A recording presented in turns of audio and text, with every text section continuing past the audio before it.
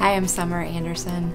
I live in Fond du Lac with my husband Mike and our four children. I'm a stay at home mom, and I've been a stay at home mom since my son Benjamin came home nine years ago. My husband works really hard so that I can do that, and I, I really, really love it. I wouldn't be anywhere else than at home with my, with my kids.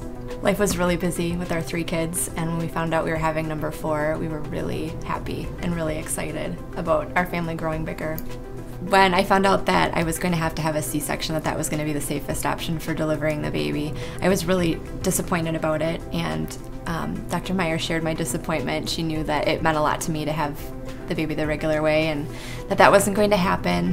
When Summer came in for an appointment, it was decided that she was going to need a C-section for the health of both mom and baby.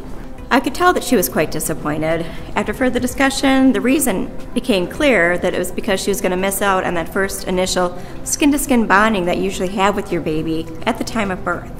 I reached out then to key personnel to see if there was something we could do to offer a skin to skin experience for summer. So, with the help of our anesthesiologist and our neonatal nurse practitioner, we were able to make the skin to skin contact experience a reality for summer at St. Agnes Hospital. Just a couple of minutes after we got to the recovery room and I was able to sit up, she latched on and started nursing.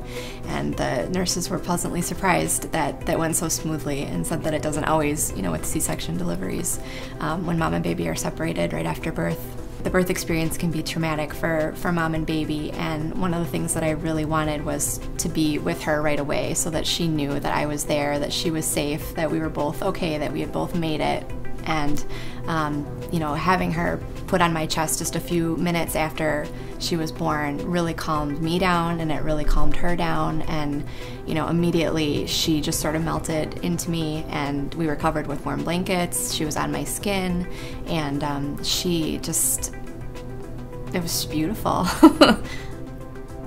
Every delivery is unique and special. I am fortunate to work with a group of doctors that is passionate about making every delivery unique, happy, healthy for every mom and baby. You know, having a baby is such an amazing experience. Um, birth is such an amazing experience, and uh, it's something that stays with women their whole lives. You know, their birth experience, how they how they felt, how they um, the details of of how they brought their babies into the world and having a doctor who understands that and shares in that and knows how to make that happen for women is a really special thing and I'm, I'm, I'm very grateful to Dr. Meyer for, for listening to me and making sure that I had the story that I wanted